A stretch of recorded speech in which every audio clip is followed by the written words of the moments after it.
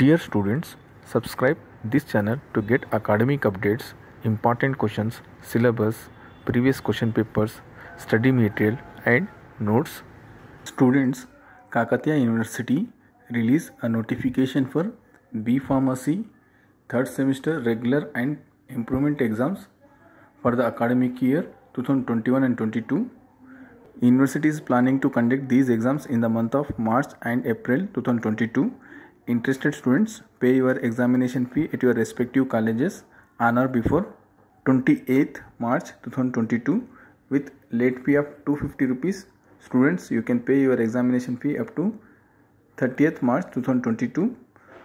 For fee particulars on screen you can see for all papers 900 rupees up to two papers backlog 400 rupees for improvement each paper 300 rupees is there all the best students for your upcoming exams. Like and share this video with your friends. Next mahatma gandhi university release photocopy notification. Recently btech 7th semester results announced by the university.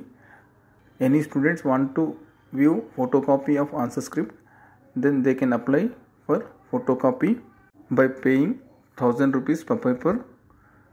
On or before 23rd March 2022 at examination branch Mahatma Gandhi University.